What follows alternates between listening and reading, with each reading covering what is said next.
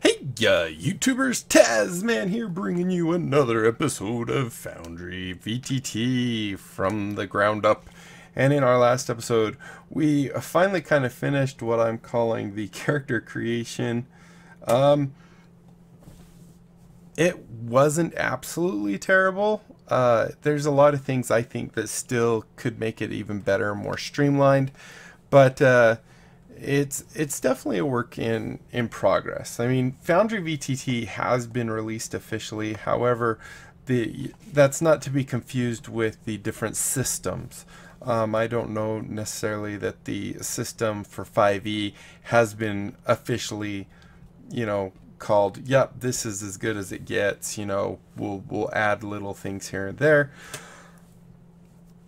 I kind of feel like it, it hasn't. And part of that would definitely be the lack of, ha- excuse me, having backgrounds and also having races. I think those are some things that you can get away with not having them because you can kind of custom code the stuff yourself or add the information in yourself.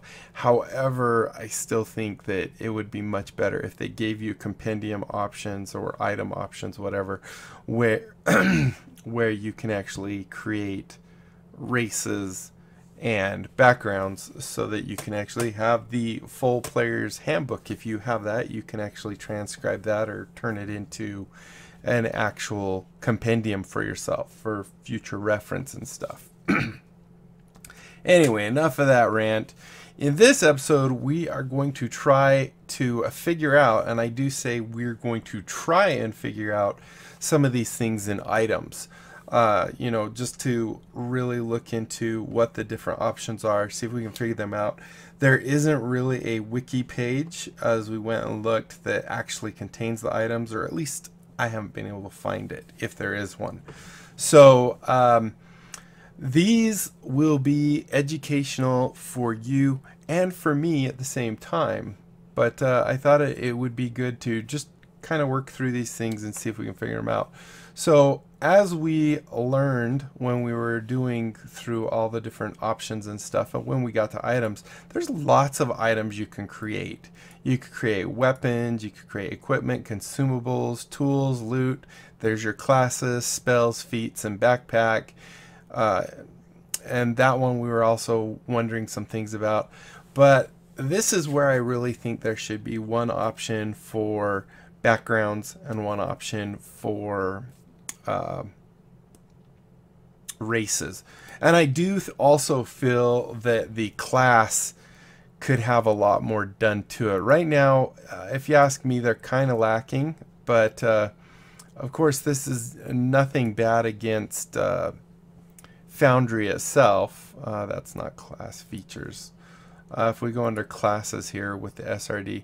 So if you look under Barbarian, for example, this is what I've done. Wait, is this the one I've done or have they actually changed it? I can't remember. I don't remember doing this part. So maybe they've actually done what I was thinking they should do.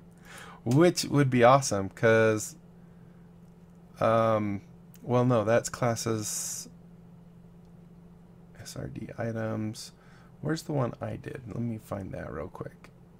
Class features. Classes here. And this is my DD. Yeah. Wait, I don't even have mine. I don't I don't remember adding things like this that were clickable.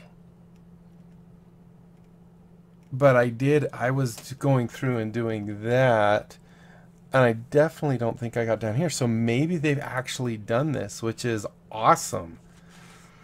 Uh, because it used to be. Let's let's look at some of the others because I know I didn't do Bard for. Oh, they have. This is awesome. Classes are no longer lacking. Uh, it used to be that there was no no information other than maybe as a bard you gained this and then this was the whole rest of it. So I really like that. Good job uh, to the author of the 5e thing. And mine's not even in there now, I guess. I don't know. Anyway, so those are some things. I don't know if he's if he was watching my video and said, "Oh yeah, that's that's a good idea," and figured out how to do it. But awesome work. Um, like I said, the other thing I think would be really good would be to have the backgrounds and races. Um, so anyway, let's just go in here and we're going to look at these things. So we have a weapon here, battle axe, and I believe it was the tokenizer that if we call it battle axe, it will automatically go and try and find an image within its actual library of the thing, which is totally cool. I love that. Um, and then we can add whatever information here under the details page we have whether it's proficient whether it's equipped. Now this is where we had one question because this battle axe is just a battle axe. Now I imagine when we move this over to a character then we would change it to equipped but it shouldn't change this one I don't think. Let's let's try this real quick. Uh, we go grab our character here and we do, do, do go to inventory and we give him a battle axe. So let's just, oh, he already has a battle axe. Let's give him a second battle axe. we'll get rid of that first one. Um, so if we come in here, it does say not equipped. So maybe this is talking about the default state of it. In which case you probably wouldn't want to say proficient either because the default state for a battle axe is not proficient. Anyone that picks it up isn't going to be proficient.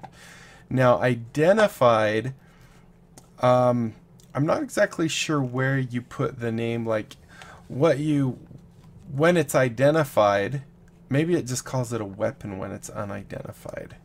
And then, of course, if you have an attuning type of thing. Now, we have lots of types of weapons. We kind of went over these. We have our simple melee, simple ranged, martial melee, martial ranged, neutral weapons. Not exactly sure what a neutral weapon is. Uh, or uh, not neutral, natural. Sorry, I do know what a natural weapon is. This is like finding a tree branch or something. I can't read today. I apologize. Improvised weapon. Uh, wouldn't that? I don't know. Maybe that a tree branch might be an improvised weapon. I'm not exactly sure what the difference. And then a siege weapon. I know what that is. I don't know how you would be carrying one. Um, but yeah, so that's this is some definite stuff to look at. So if with that battle axe, if we go look on our character real quick, let's just check something real quick. So with battle axe here, if we click on it, we can see it does say proficient. Now that's whether I'm proficient with it or not, right? If I change something in here, does it change it here? That, let's see if I go to edit, or does it kind of create a copy of it here? So if I go in here and I say that proficient, no, it doesn't because we actually changed, if I go change that it's equipped, and then it's there, save at the bottom, no. Okay, so it does look like it is creating a copy of it, which is actually really good. So if we come in here, close this one, reopen it. Yeah, it doesn't. So my guess is that you want to not have these checked as a default state. However, once it's given to the person, then you'd want to check if they're proficient with it, if it's equipped identified. Like I said, I'm not exactly sure. Is it just called a weapon if it's not identified? If we uncheck that and we drag that into our character, is it still going to be called a battle axe or just a weapon? Uh, whoops, we want to go back here and here, and now let's drag the battle axe again. Yeah, it's still called a battle axe. Not proficient, proficient.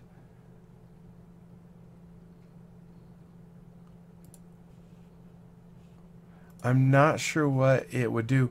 Like, for example, and a lot of this I base off of Fantasy Grounds because I'm quite familiar with Fantasy Grounds and played a lot with it.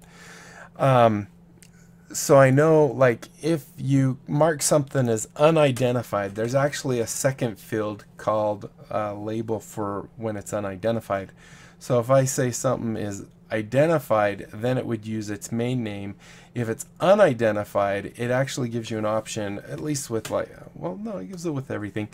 Uh, it gives you an option to give it a label. So, for example, I just call it an axe. Or, for example, if this is, I keep saying for example, if this is like battle axe of strength or something of cleaving, um, that would be the actual name of the thing. However, if I just pick it up, to me it's just an axe with maybe some special symbols on it.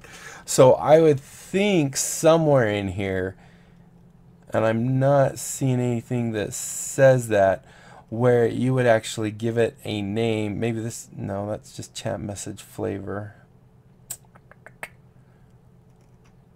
So I'm not exactly sure what identify does. And attuned means that you have it and until you attune to it you use it enough to really understand how it works and stuff or what its special abilities are uh, you don't actually get those things. Now i would imagine somewhere in here would also be something that would say okay when you're attuned to it now it does a plus two extra or something. But i don't see that either uh, then we have our weapon properties, ammunition. This is if it's arrows, bolts, bullets, I guess, if you have them. Finesse. Uh, for those you don't know, finesse uh, means that it can either be used as a strength type weapon. You can use your strength modifier or you can use your dex modifier. Firearm, kind of obvious, that's a firearm.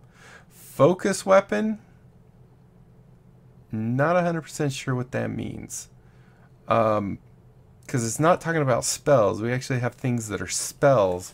So a focus weapon, I'm not sure what that means. Heavy means I doesn't that mean it's two-handed? No, because it has a two-handed. What is the difference between heavy, light? I know you like a. Maybe it's so you don't have to say crossbow. You could just say heavy there, crossbow, light but usually you put that in the heading. I'm not sure. Loading would be like a bow and arrow, a gun, something where you actually have to load it. Uh, a battle axe, obviously, you don't have to load. Reach means that it exceeds uh, melee weapons. Generally, only reach five the five foot around you. Uh, reach would mean it goes 10 or more, depending on the reach. Reload. Can we just talk about reload? Loading and reload maybe this is more for bullets because it actually has a clip or something. I'm not sure. Uh, returning is, you know, if you have arrows that have returning on them or something, you actually get uh, some of them back. Usually returning is used with a percentage or something like that uh, where, you know, if I have 20 arrows and I get one that returns, then I still have 20 arrows. If I fire 5 and only 2 return, then obviously I have 17 arrows. Uh, special, everything special. I, I'm not sure what special is. And I, I don't think these actually activate other fields. So these are things that definitely would be good in the wiki. Thrown obviously is if it's thrown two-handed means that uh, you have to use two hands for it. Versatile means that you can either use it one-handed or two-handed, and there usually is something in here that would say, there it is, versatile damage would be 1d10 plus your modifier, and uh, regular is 1d8 plus your modifier. And where do we tell our modifier? Ability modifier is default. So I'm assuming it will always think this is strength. If I'm using, well, if it were versatile, then I could use dex also. So strength is the main modifier. So that makes sense. Uh, activation cost, this is, uh, if, if it's something that says two, that means I have to ready it in my first action and use it in the second action. So this I can actually use right away. Activation condition. I guess some things have a condition. I haven't really ran into many things that actually have conditions associated with them. So uh, not 100% sure um, about that one. Target, this would be, uh, I believe this is the range right here and the uh, unit of measurement, whether it's uh, feet, miles, self, touch. I guess touch really isn't a unit of measurement. And then um, also here is, is it uh, target is the enemy? Is it an ally? Is it a cone? Uh, just any creature. Some of these kind of seem like they overlap also uh, to me, but they also might not. I don't know. Uh, so then you have your range. This is also where the reach is. If it's a reach weapon, then you would come here and say it's 10 foot, meaning that it can reach up to 10 feet away instead of just the 5 foot. Or I guess you could have a mega reach with a mile or something. Uh, duration is how long it lasts, and you would say once again, I don't think with a battle axe example, it's not going to have a duration, but maybe if you have a battle axe of poison or something, uh, you could stick a duration on there. Uh, to be completely honest, I don't think these all these different options, other than a few of them, actually have mechanics built into the game. Most of them are going to be mostly for your reference or uh, for your own knowledge of stuff. Limited uses, this is maybe if I had throwing daggers and they were only for throwing or some darts maybe, uh, I could say uh, two of two, meaning that I have two. And then this is when it recharges. Does it have charges? Uh, meaning that uh, once the charges are gone, it's just done. Uh, does it reset on a short rest, which is a minimum of one hour, a long rest, which is a minimum of eight hours, or a whole day, which is 24 hours. So we have that. Uh, next we have the weapon attack. So action type, this is what kind of action type it is, what kind of uh, what kind of weapon it is, I guess. So you have the melee, which is, you know, hand to hand or type thing. Ranged is ranged, obviously, spell casting. See, now this, I guess I would think this would be in spells. And it might actually share some of these fields with other ones. So a spell, maybe if it had a spell power to it, like a battle axe, a magic missile or something, I guess. Uh, but that wouldn't be melee. Hmm. Uh, but that would, uh, if it's a saving throw, uh, if it requires a saving throw in order to do the damage, healing, ability check, utility, or other uh, ability modifier. This is default. I'm not sure where you actually set this. Um, I guess if you're setting it as melee, which you're not actually doing up. Well, you're setting it right here. That would automatically set it as strength. Although, if it's a dagger, that's dex. That is a really good question, actually. Um, so yeah, I'm not sure if where it gets this default. Maybe everything's strength, and then you can change it. Not sure. Uh, but if if you're forcing it to be something else, then you can actually do it there. Uh, if you have an attack roll bonus, uh, this would be, say this is a battle axe of plus one to your attack, then you would put, say, plus one here, and then it would actually, I'm assuming, automatically do the formula of 1d8 uh, plus your modifier plus this one that's up here. I don't know if it'll actually change that value. Like if we do this, can we... Let's get rid of this one and try and roll it and see if it does that because I'm really curious. So uh, character here has a strength of plus, uh, 4 and a dex of plus 4. I'm going to change this just so we can tell exactly which one it is using. So that should go to plus 3, plus 3. So if we come in here, uh, let's go ahead and close this. And we'll add this battle axe here. Now if we're rolling on this, and going here, we can see this is the attack. So this should give us the modifier, which should be strength, right?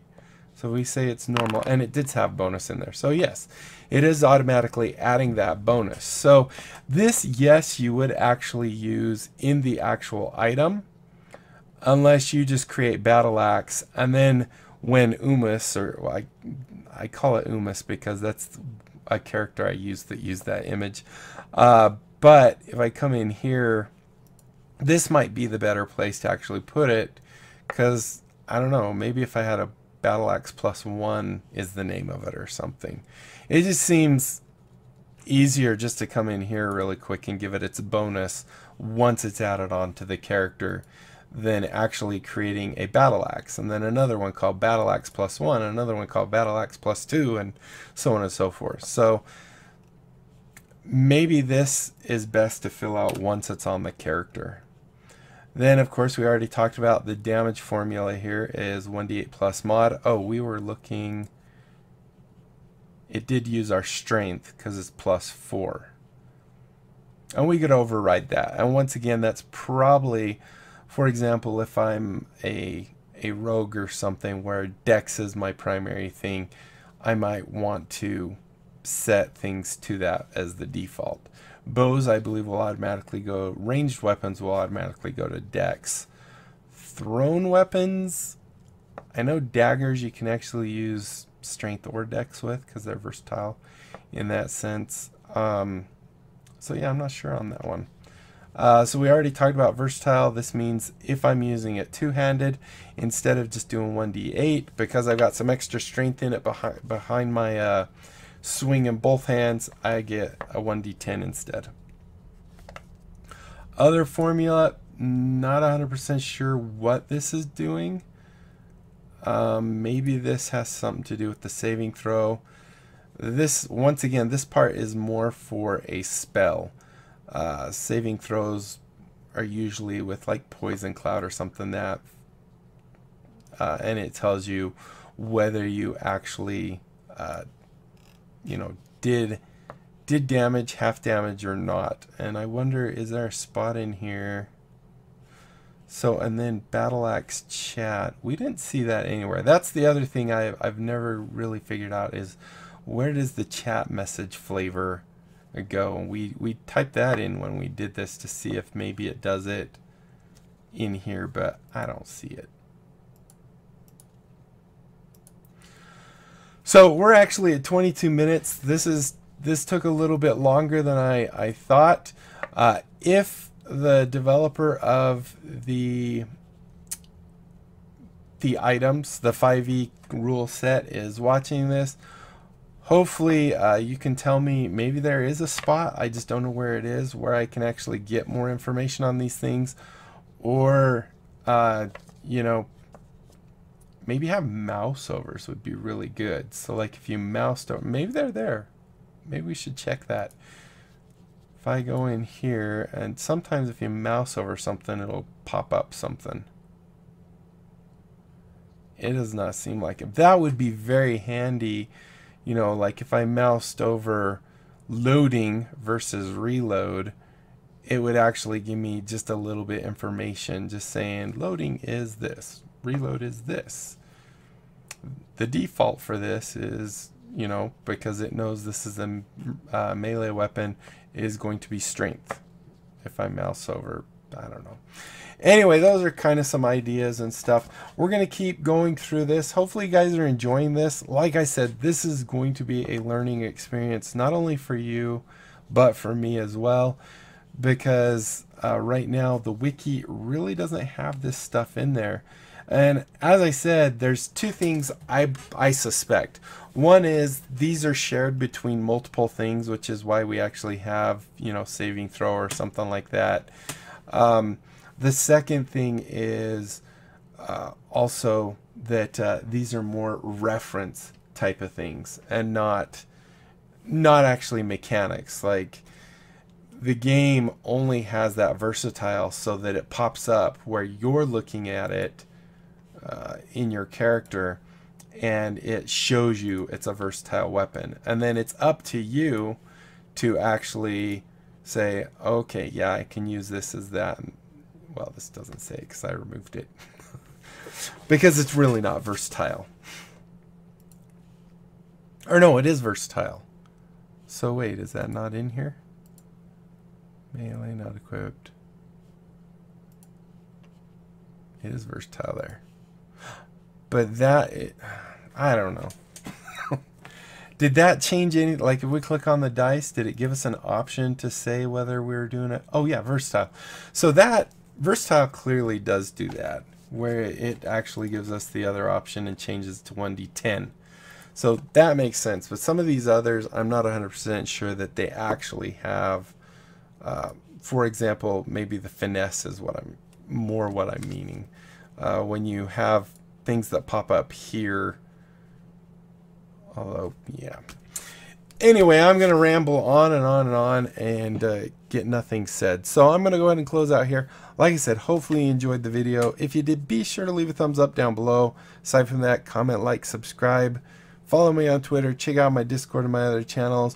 If you have any recommendations, if you really don't want me to do the items and kind of trying to figure them out with you, although it's more through your comments after the video that would be with you, but I appreciate any help you give. Uh, if you'd rather not see this type of video, let me know what you'd like to see and we'll focus on that. So that's it. Until next time, I'll be seeing you later. Bye.